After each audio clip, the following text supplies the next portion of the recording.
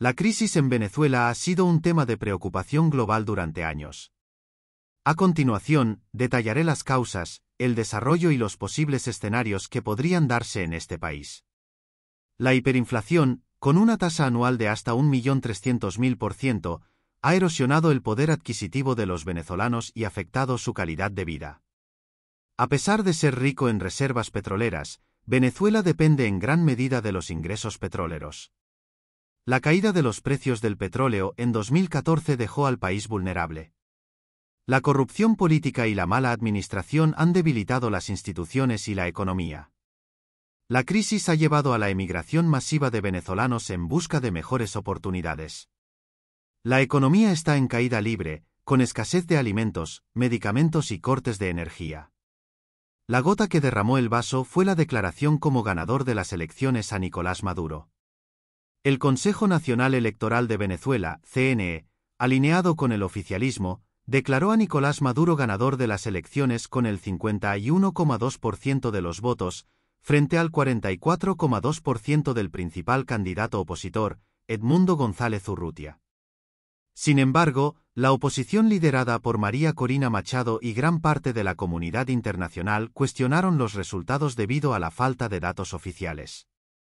Ante la ausencia de actas, el oficialismo acusó un hackeo del sistema de procesamiento de actas, mientras que la oposición denunció fraude.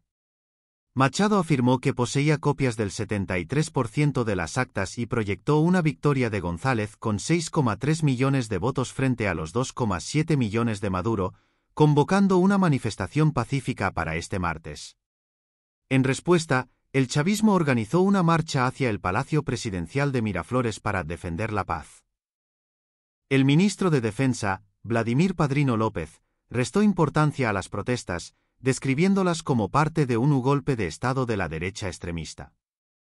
El lunes, las manifestaciones en Venezuela contra el presunto fraude fueron reprimidas con violencia, resultando en al menos tres muertos, según diversos reportes.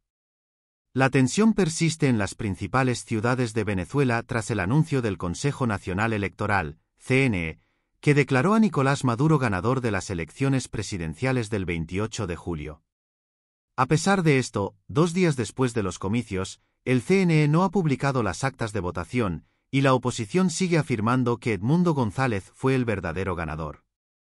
Mientras tanto, la presión internacional aumenta para que el oficialismo realice un conteo transparente de los votos. En las calles, continúan las movilizaciones exigiendo la salida de Maduro. Las protestas han resultado en al menos 11 muertes, según organizaciones de derechos humanos. Alfredo Romero, director de la ONG Foro Penal, informó que cinco de estas víctimas fueron en Caracas y expresó preocupación por el uso de armas de fuego durante las manifestaciones, que incluyen a dos menores de edad entre los fallecidos. Los expertos opinan que podría darse una conversación entre las partes opuestas es inevitable. Esto requeriría un proceso complejo y prolongado con un mediador neutral.